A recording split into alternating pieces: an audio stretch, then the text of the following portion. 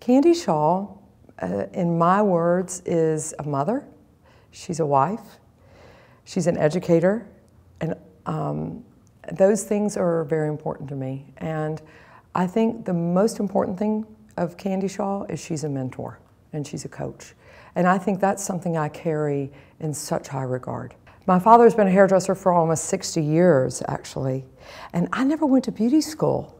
And in Georgia, you could apprentice and you could follow uh, that method of becoming a hairdresser. So Candy Shaw, the person, never went to college, never went to beauty school. I'm a street punk. I mean, really, I was born out of the will and desire to become something. Um, I learned from some of the greatest hairdressers. I was so blessed to spend time with the Vidals and the Horst Rechelbachers and the John and Susie Chadwicks of the world. I mean, I was really blessed that my, my parents sent me away to, to break bread with all these industry greats.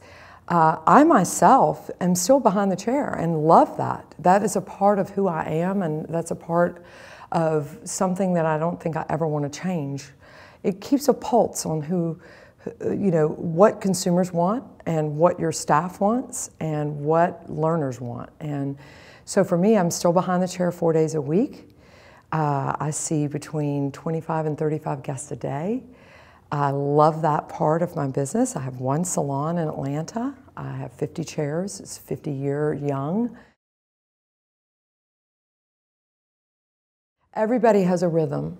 Uh, we all, you know, it, maybe it's cliche to say we march to the beat of a different drummer, but truly, once you find your rhythm, you can overcome any obstacle. My father is severely dyslexic. I'm dyslexic. My daughter, uh, I have three kids, and my daughter, who's 14, is dyslexic. And, you know, her rhythm is completely different than her brother's.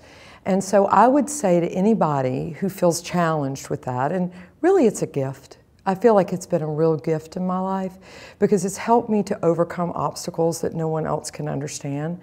I think any any time we have a challenge, we can take it as a good thing, or we can take that as a defeat. And um, so my advice to the student is.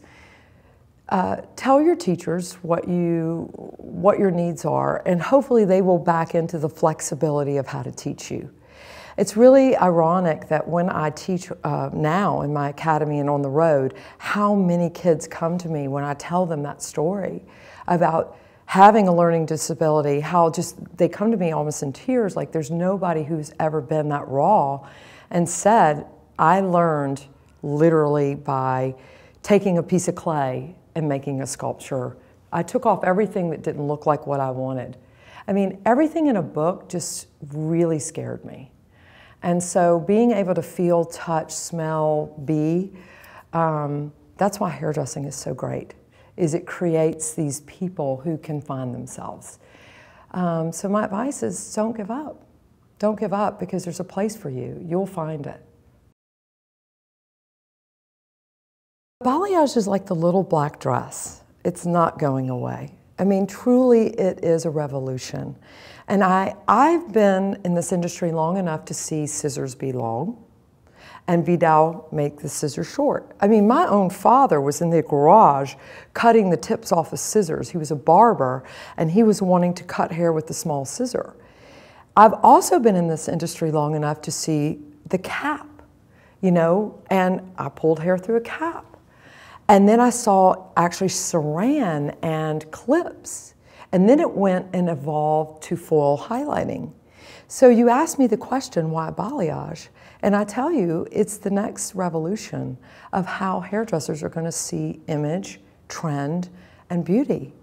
And for me, I didn't just sort of get in line and say, oh, I think that's the next trend. I'm going to go over here. I just literally organically grew as a hair painter. Being a painter is something that I am outside of the world of hairdressing as well. It's something that I've always had a passion for. I'm actually severely dyslexic, if you want to know the truth. And um, for me, everything was about vision and about seeing an image and trying to replicate that. Now, I'm a hair cutter too, and I still cut hair and obviously paint hair. And I was painting hair before painting hair was cool. Uh, 20 years, people would look at me like, you've lost your mind. You know, we're putting foils in, why are you painting hair? But to me, it was freedom.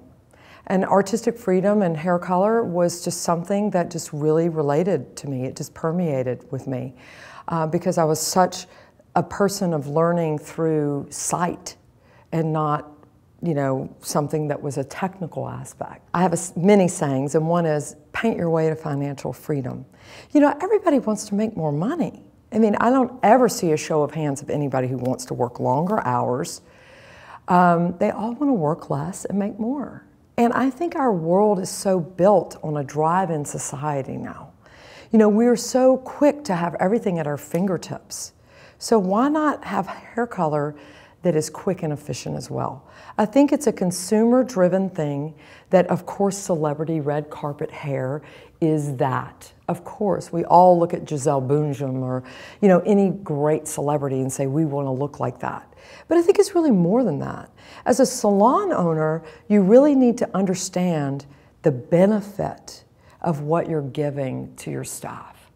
And that is not only the freedom to be an artist, but also the ability to earn more uh, through your existing clientele and the ability to put your mark on something that can't be replicated across the street.